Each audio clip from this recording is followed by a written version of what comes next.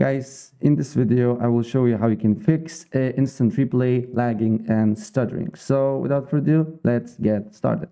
So first of all, what we suggest, uh, what I suggest to do here is to go on settings.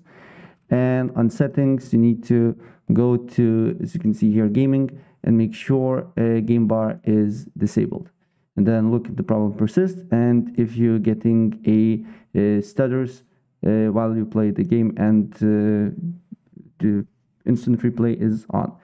Still, if the problem persists, what I suggest you to do here next is to uh, open up NVIDIA overlay. Uh, if you have, if you don't know how to open it, you just need to go to NVIDIA app settings and then make sure NVIDIA overlay is enabled and press Alt plus Z. And this window will open up. Then what you need to do here is to make sure, uh, first of all, turn off instant replay and then go to configure video capture and then here, make sure the quality, uh, make it, uh, you can make it too high. Uh, resolution can be uh, a little bit lower, but it really doesn't matter.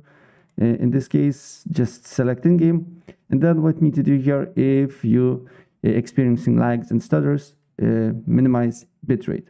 So make it, for example, from if your bitrate is more than 50, make it to 50 and look if the problem persists.